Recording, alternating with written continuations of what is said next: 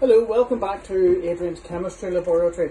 Now it's very interesting that my last video caused so much controversy with some flat earthers who refused to believe that I actually was using 100% concentrated sulfuric acid and all I was simply trying to do was demonstrate the extreme dangers of concentrated sulfuric acid and how to safely use it.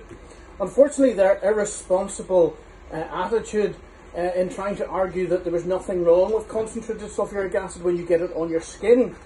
Um, for instance, there's one person who likes to add lumps of sodium, very large lumps of sodium, to aquarium tanks in his backyard, and he believes that he's a scientist, but I don't think really he has anything positive to offer the scientific community.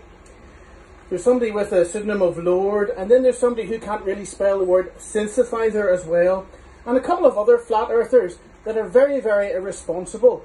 And I believe it's my job to point out the dangers of chemistry, but also how to safely handle chemical reagents.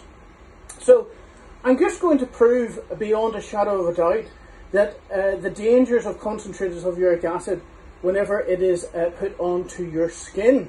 And over here in the fume cupboard, my sister just follows me, I have a piece of chicken Nothing special about this chicken whatsoever. I'm just going to put it into this little uh, crystallizing dish. And here I have brand new sulfuric acid, which as you can see, unlike one of these flat earthers believes, looks like corn syrup, which as you can see, could be easily mistaken for water and not thick corn syrup. And I was trying to point out the dangers that you could easily get uh, sulfuric acid mixed up with water. and was also pointing out how to safely mix it with water, that you add always the acid to water and not the other way about because you get a vigorous exothermic reaction and it would end up boiling and splattering all over your skin. Which is why I'm donning a PVC suit and face mask and heavy rubber gloves to protect myself whilst using concentrated sulfuric acid.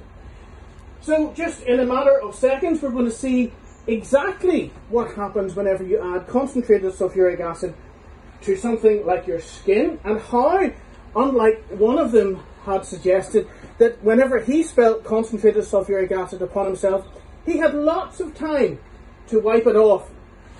Which is why it's impossible because you don't have time to wipe it off. You must put your hand or your face or whatever you've got it onto into copious amounts of cold running water, which is why I've got large beakers of cold water about and also um, some buckets of water outside. You ready? Concentrated sulfuric acid onto skin.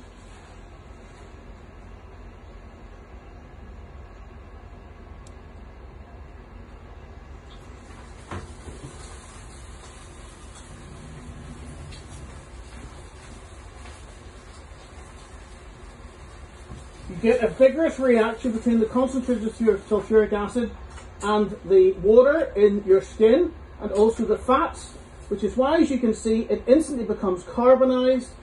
And as you can see, that is in seconds what would happen you if you spilt concentrated sulfuric acid upon your skin. And that's why these uh, flat earthers and very irresponsible people who are commenting on my uh, channel at the minute really should go and read a chemistry book and go and uh, have some respect for chemistry.